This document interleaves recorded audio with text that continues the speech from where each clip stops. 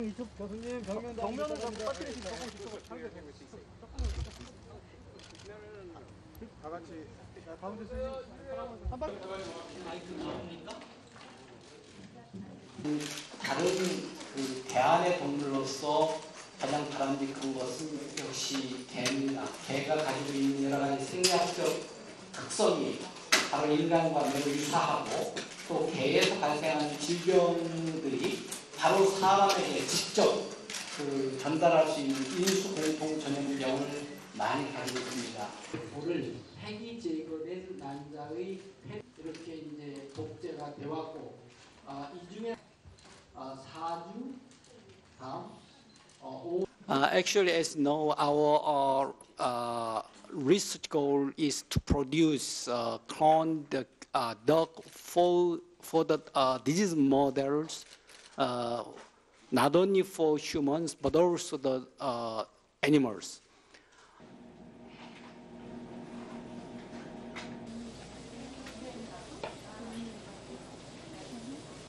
With this uh, trial, we can uh, get very valuable and important data. So, uh, our next goal would be the, to establish uh, nuclear transfer related uh, embryonic stem cells of dog. two two ovaries per pig.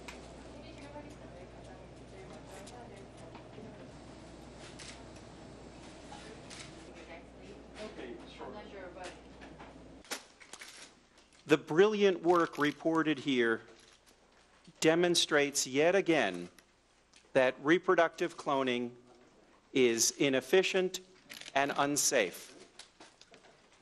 There is nothing in nuclear transfer that involves reproduction for making any member of our family, pets or any other member.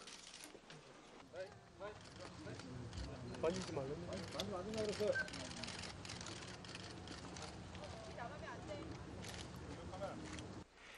Wouldn't it be a marvelous thing that our best friends would be the first beneficiaries of stem cell medicine and in learning whether it's safe and effective in our companions, we may also know whether it's safe and effective for our loved ones.